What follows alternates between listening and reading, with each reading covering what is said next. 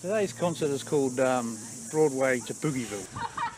Basically, the first act is going to be basically uh, songs and numbers from the stage and screen, and the second act is just going to, because it's our last concert of the year, it's just going to be a boogie. So we're going to have fun. This first started, I think, in 1997. This, that's right, this is our 19th season, and we usually do three concerts a year.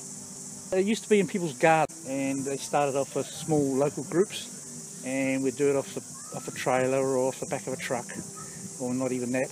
And then um, along came PSA, and which meant that we couldn't um, go to those places because of the spread of the disease in kiwi fruit. So we decided to stage it in this beautiful park.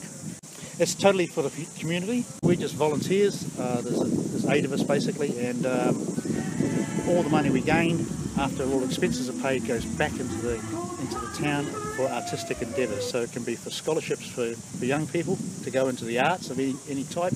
It also goes back into things like the murals that you might see around town, uh, just beautification of the town and any, anything for the arts. Um, why did you choose Kati Kati? Because that's where we live. It's been a pleasure. Thank you very much. Thank you. And if there's anything else you want to say, or No, don't need to. no, it's very straightforward.